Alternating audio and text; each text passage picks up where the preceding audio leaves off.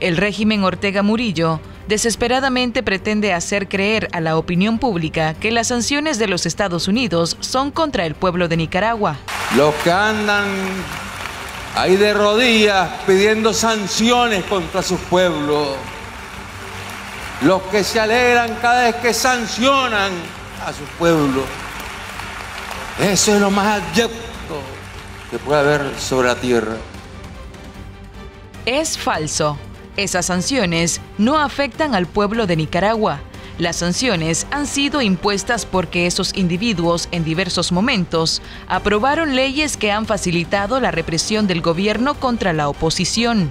Eliminaron las posibilidades de elecciones transparentes en noviembre de 2021. Dieron órdenes para el cumplimiento de acciones ilegales y arbitrarias del Ministerio Público contra ciudadanos nicaragüenses han sido parte de una red de operadores que aseguran apoyo financiero al régimen.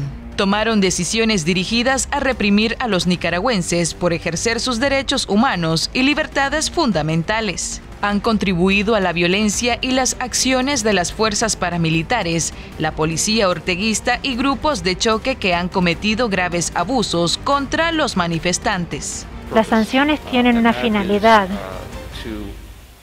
y esto es el promover la rendición de cuentas para aquellos que cometen abusos, violaciones de derechos humanos, socavan la democracia o cometen actos corruptos. Y eso es lo que nosotros vemos en ambos países, Venezuela y Nicaragua. Estas sanciones no afectan el día a día de la población nicaragüense, ni los niveles de precios de los productos, ni las exportaciones e importaciones. Solo afectan a aquellas personas que han cometido violaciones a los derechos humanos.